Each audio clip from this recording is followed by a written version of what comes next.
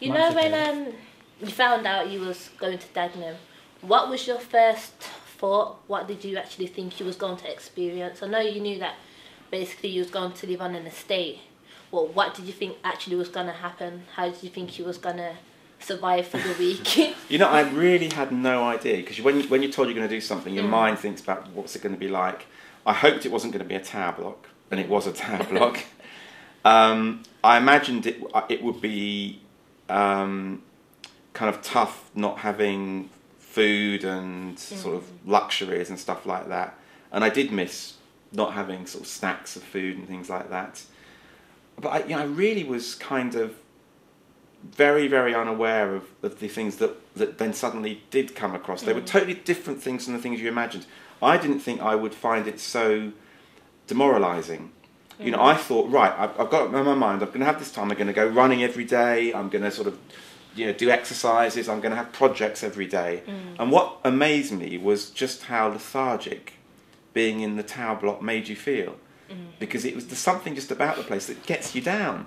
And Kath, who I was living with, would sometimes not get out of her pajamas and would just sort of lie in front of the TV in the afternoon. Mm-hmm. And you know, first day I was, come on, Kathy, you're going to come jogging with me. And mm-hmm. actually, by day two or three, I was thinking, oh, blimey, and she really brought you down to that. it does, and uh, it, so that's I didn't expect that to happen. That it, mm-hmm. it sort of just makes you feel really down and grubby, and that that surprised me. And now that you've actually come back to your comfort zone, Yeah. um, what do you really think? Like, would you go back to see how things are going and things? Have you been back? Yeah, I went. all? I went back, and it was really nice. To, I mean, what the, another level here? It's awful in terms of the conditions, and would I want to go and live there? Absolutely not. But I met some really nice people, so it's really fun to go back and meet Candy and, and some of the others. I've enjoyed Yeah. doing that.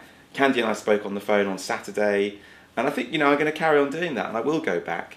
But what's interesting is that I'm trying to think. Uh, Mark, um, Sloan, another Mark, uh, they've all left. Okay. So they've escaped from the tower block. So actually, there's less and less people who I know because they're all they're all moving out, which is great for them. Um, but it's people which will draw you back, I think, just to see how their lives are going. Um, but it would be lovely to go back one day and find they're not there anymore. that would be really good. They've just literally knocked the tower blocks down. okay. Well, that's it from me.